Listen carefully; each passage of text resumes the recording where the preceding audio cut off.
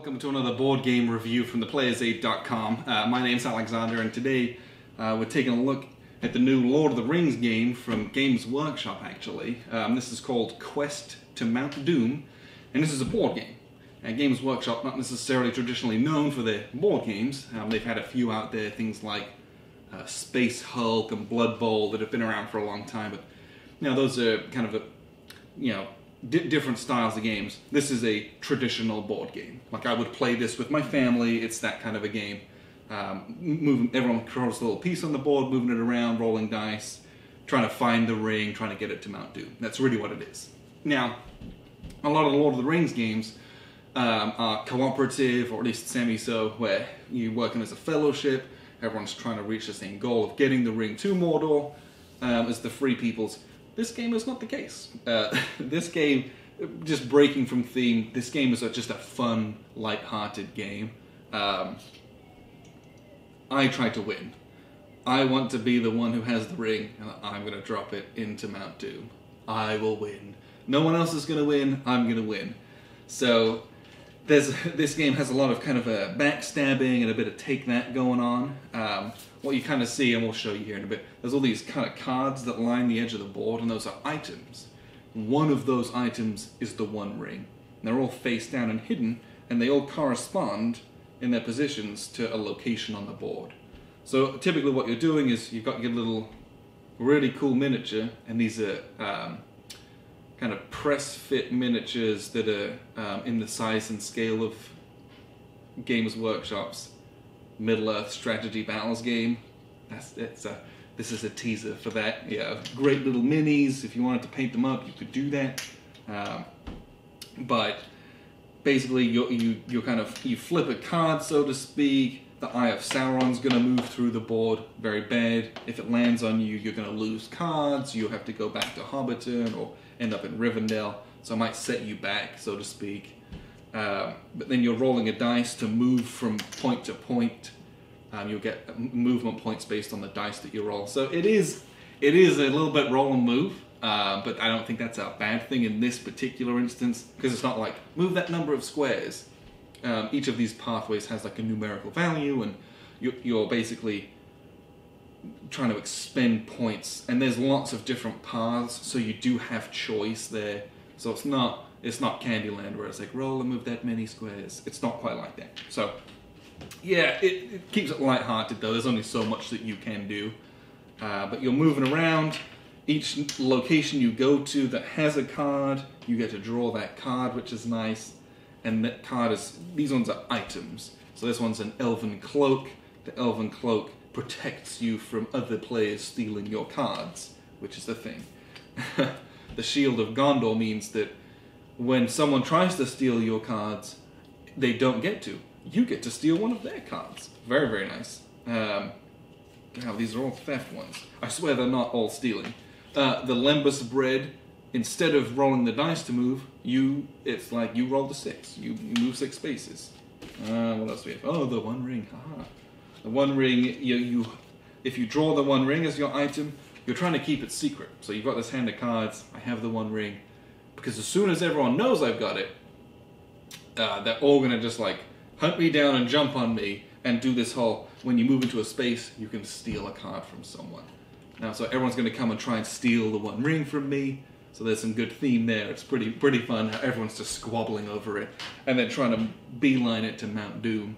So what you end up with a lot of the time is this squabble. Everyone's like in Mordor on on the banks of Mount Doom, just like clawing at each other, trying to steal back and forth, bringing out all their weapons and shields, just like trying to fight over it. And someone's gonna like claw their way out of the dog pile and get into Mount Doom and win the game. So this it's pretty fun that way. Now I've played this game now a couple times with different play accounts, and I have had a good time each time. And that's that's what this is. It's not necessarily the most serious and deep, dark, crunchy, thematic Lord of the Rings game. It has good theme. It looks great but it is fun. I spend 45 minutes just like laughing at how funny it is when, you know, the odds of this landing on you is actually pretty slim, but it landed on one of our players like three times in one game, and they were just like, what do I have to do? Um, because there's cards that protect you from the Eye of Sauron, but he didn't ever have any of those. Uh, or then like you you know you have this master plan, all these great cards to like steal from someone. So you go in there, you try to steal from them with all these cards, and uh, but they have a card that's like I steal from you instead. So there's this back and forth of what happens. You can halt people's movement. You can just you know a card says move any player to Isengard. So you're all the way over and um, the, at the Black Gate, ready to go into Mordor, and someone's like, "Just kidding." The Uruk-hai had taken the hobbits to Isengard, and they take you over to Isengard, and you're like, "Gah." so now you've got to charge across the board and try and stop the player who's got the ring again. So there's there's really great fun to be had in this. Uh, what I'll do is I'll show you the board, and then I'll wrap up with some final thoughts. So here's a look at the kind of board and, and what it all might look like when you've got it. Half, this is halfway well, halfway through a game or towards the end of the game at least. So as you can see, big board, each of the different kind of areas is represented, and it's all a point-to-point movement. And if you look, the, everything's joined up by these dotted paths, and on the path it has a numbered numerical value here. So this is a two, this is a one, three, some fours over here. And, and th- this is the kind of the part of the roll and move that I talked about. You roll the dice, and you have five movement points. So you know here, if you're in Gorgoroth, you can go two, three, four, five. But you know if you're over here in Hobbiton, you can go one, two, three, four, five. So you can move through you know more spaces and easier terrain. If you look actually getting up Mount Doom, you have to roll at least a four. So it's really hard. You have to roll a six if you're in Cirith Ungol, or the Black Gate to kind of blitzkrieg through to get to Mount Doom. So it's possible, but it's very lucky, you know, that there is that aspect to it as well. And what that does is it kind of clogs up down here, so it's really hard to make that last push if you're the ring bearer. Um, so it's everyone's trying to rush in and kind of gang you and, and take uh, take the ring from you. But, but you know, you all start off in Hobbiton or Rivendell, depending on how many players you've got, and you have these cards. Um, there's everyone starts off with a with a couple of event cards in your hand, and these you know break the rules, so it stops other people's movement, or everyone in Mordor misses a turn, or you can move the Sauron counter, and you know along a pathway, or you can block a card that's played on you. Things you know these are just a lot of it's kind of take that stuff. Sometimes you draw an event and it's like oh you get hosed you know you lose a turn your turn ends immediately as well. So you know sometimes it's bad stuff happens to you but basically the game is accruing these hands of cards moving to areas. So every time you move into an area like we said um, i'm going to move into isengard. I consult around the edge of the board. This is isengard here. This card has already been taken. But if I had moved into the Gap of Rohan, if my guy ends up here, I can take the Gap of Rohan card. This now gets added to my hand. So the game doesn't start with someone as the ring bearer. You have to find it. So in this instance, um, if someone was to move into Moria, this is where the One Ring is. Yeah. And now you have this in your hand. It's a secret. Looks like all the other cards. And whilst there is a little ring miniature here, you don't take that um, unless you wanted to somehow reveal yourself as the ring bearer, or if it was kind of a, a mnemonic, as everyone knew that you had it, you'd give it to them as a reminder. Um, this has its own little special abilities where you can, you know, you can protect yourself. But as soon as you do that, everyone knows you're the ring bearer. So it's kind of a one-time deal, and after that, you'll end up using this a lot to just defend, fend, fend, fend, fend. Um, because what happens is, as soon as someone sniffs out the ring bearer or it gets revealed, everyone's going to converge on you, try to take it. Because, like I said, it's whoever has the ring and gets to Mount Doom first wins. And that's there's a little bit of a disconnect, so to speak, in- those in the theme there, where everyone's kind of doing their own thing.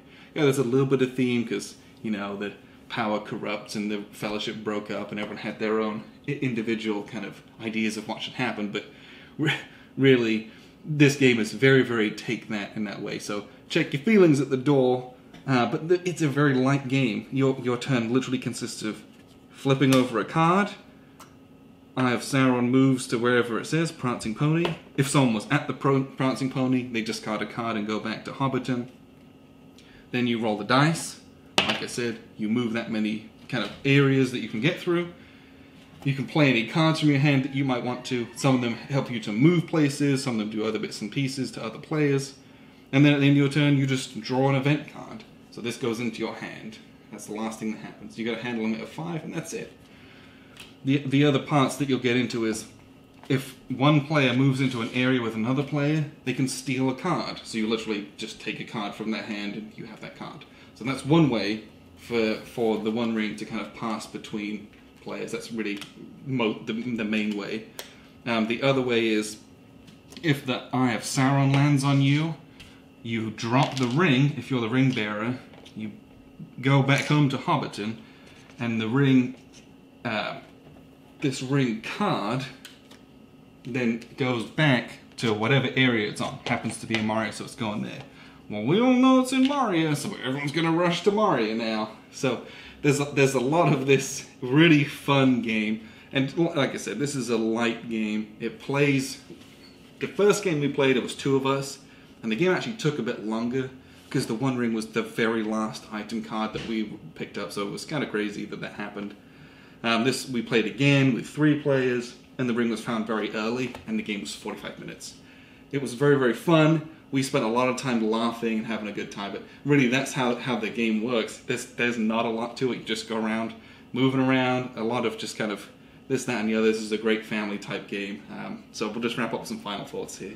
So uh, that, that was a look at the board and kind of what turns look like and, and the, the, physical components of the game. Um, I didn't show you a lot of the miniatures, and I probably should have done because they are they are fantastic sculpts.